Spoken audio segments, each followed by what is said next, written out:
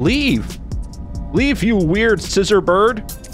And I've also was told that their name is Miro Miro birds or Miras birds. I don't know how to pronounce that exactly, but are they just camping that spot?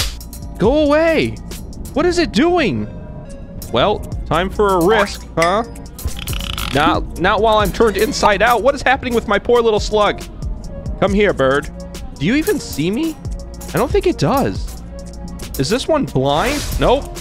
Uh, we are in a weird spot now, aren't we? Uh, can they hurt themselves? Maybe they can just hurt themselves and I'll be okay. Oh, they give up and run away. That actually worked. How? How did that actually work?